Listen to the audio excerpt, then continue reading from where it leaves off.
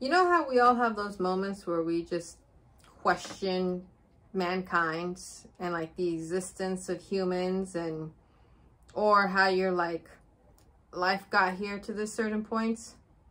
Well, that was today.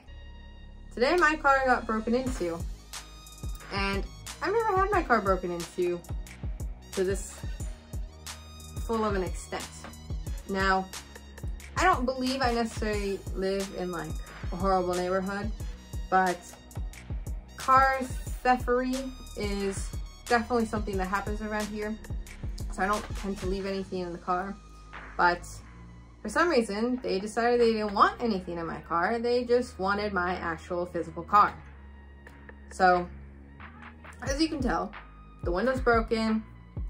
They used a screwdriver, which I didn't think it was that easy, to be honest. I thought you needed a little more tools or charisma or something. I didn't think it was as easy to steal your car with a screwdriver, but what do I know, right? So they broke my window. They uh, took off, they jammed the key ignition. So like that little, where you literally put your key in to turn to start your car on. It looks like they used that screwdriver to turn on my car, which they did successfully. My car was on when I got to it.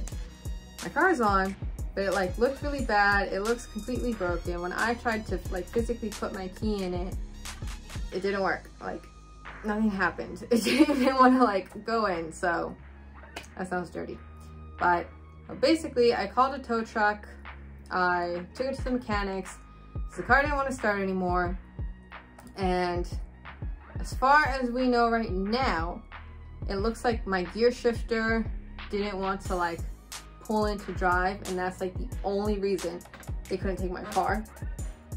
The specifics and the mechanics to how any of that worked, I have no idea. And I sad, mad, angry, and disappointed all at the same time. Yeah, yeah, I am. It's most likely going to cost a lot of money to fix everything. I am happy that they didn't take my car, but this also means I'm out of work for a few days. And then this also means that, you know, I don't, I have to spend money on my car. And uh, it's annoying. It's, it's, uh, it's definitely annoying. And, and we're in like holiday season, like full blown Mariah Carey on the radio every single hour of the day. So it's like, really? Really? But, ah, I'll see you guys in the next one.